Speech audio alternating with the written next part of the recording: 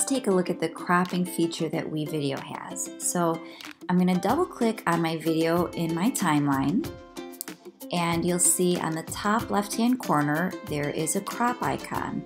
So if I click on that, I can do a few different things. I can crop by selecting this button and you know pulling in from the left horizontally or right and you could see all the changes being done in my preview. I could do it from vertical, top, or the bottom.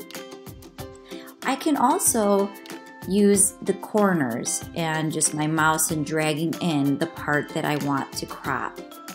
You decide how you want to crop. Once you have something cropped, you're going to click Save Changes. So then you'll see that now your video has been cropped, but let's say you want it to fill the screen a little better. I'm going to show you what you could do. Double click on the video again and then instead of clicking on the crop tab, you're gonna go to transform.